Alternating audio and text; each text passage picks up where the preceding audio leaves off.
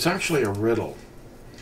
Disobedient people don't understand Scripture. They don't have Yahusha's spirit in them because they don't obey him.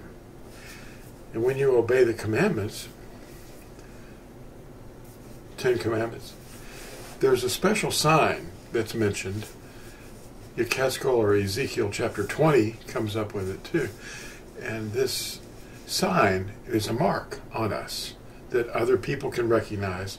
But more importantly, we recognize one another and Yahuah recognizes us for this sign.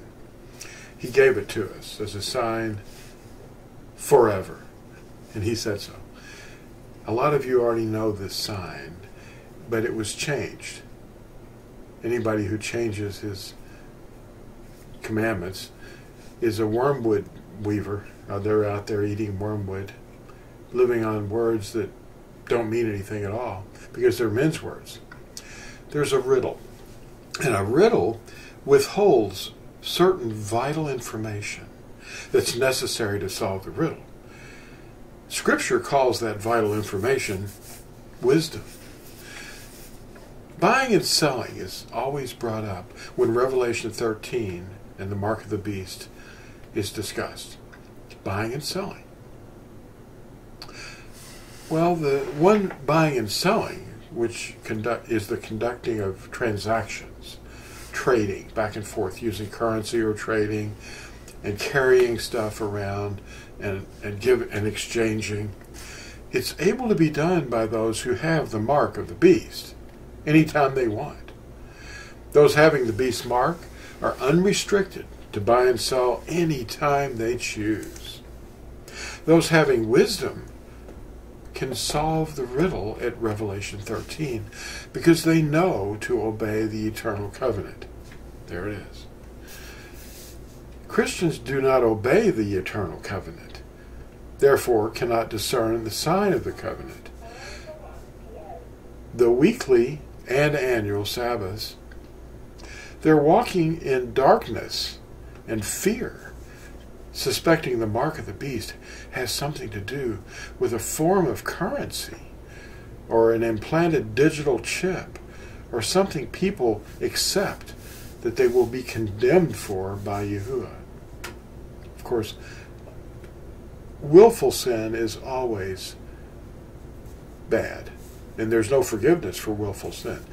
Read Hebrews chapter 10.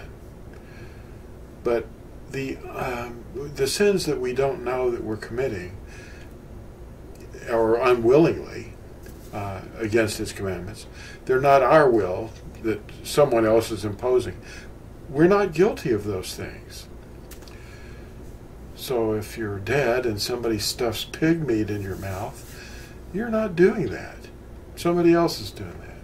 Somebody else made that happen. Yahuah already spoke of his Sabbaths being the sign. And those disobedient to resting on his Sabbath should be cut off from his people. It's the death penalty, either now or then. We're not killing each other, of course. That's that's against the commandments. But there was a time when the commandments were given in the wilderness when they would be stoned to death. They'd be held for, you know, trial. And then immediately their life would be taken if they were found guilty of breaking the Sabbath. The Sabbath is a sign forever between Yahuah and his people. And it identifies us as living in the bond of his covenant, abiding in his word, living by every word that proceeds from the mouth of Yahuah. And there's no, well, there are laws against it now to rest on the Sabbath because Constantine made that happen. Constantine's edict in 321 CE and the Council of Laodicea in the year in or around the year 370 CE, and recently the breaking of the weekly identification, which doesn't seem to have an origin, by the lunar Sabbathers. Lunar Sabbath uh, using the moon to determine when weeks start and end. And uh,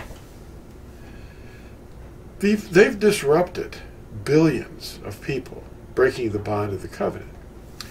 Now, the seventh day is referred to at Hebrews 4 as a sign.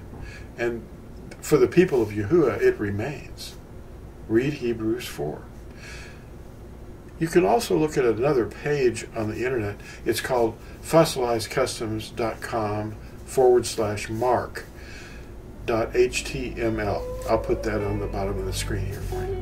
Thanks for watching, and we'll see you in the next exciting episode. Bye.